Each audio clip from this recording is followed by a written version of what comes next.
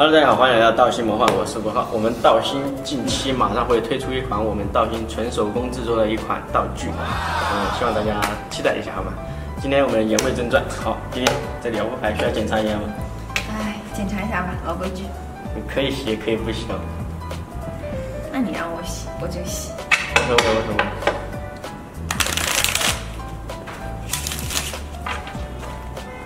还开始打结了，需要上点牌粉。嗯。好，好，洗完牌之后我们打开哦，打开，然后你选八张牌，四张红色，四张黑色。我就这样选，然后你可以看到。我可以看，我可以。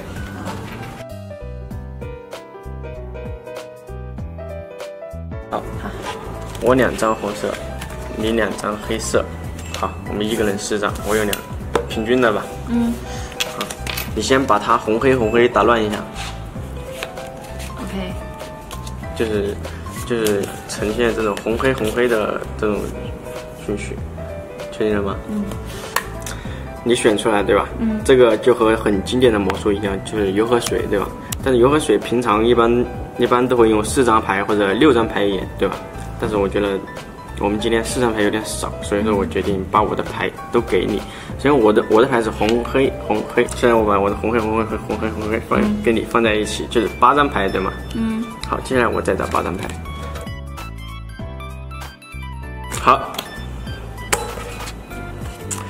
我找出来了八张牌，他这里八张牌，我这里八张牌，我把顺序打乱一下。好，好，你现在跟我做一样的事情，嗯，把牌翻过来。好，看一下，都是红色，对吧？但是我要和你的不一样，你可以把第一张牌放在最底下。好，接下来拿起两张放在桌子上，再拿起两张放在桌子上，拿起两张放在桌子上，最后两张也放在桌子上。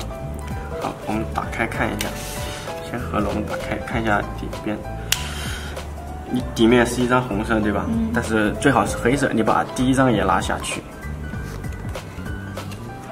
好，看一下我的牌哦，我的牌还是和原来是一样的，对吧？嗯。就是黑红黑红黑红黑红，对吧？然后看一下你的牌。啊啊？怎么会这样？我们俩不是一样的步骤吗？对，真正的魔法就是从来不是发生在魔术师身上的，而是发生在观众身上。好，如果大家想学这个魔术的话，看着视频，跟着我的动作一起来，然后你们就会学会这个魔术。就是这样，我们下期再见，拜拜。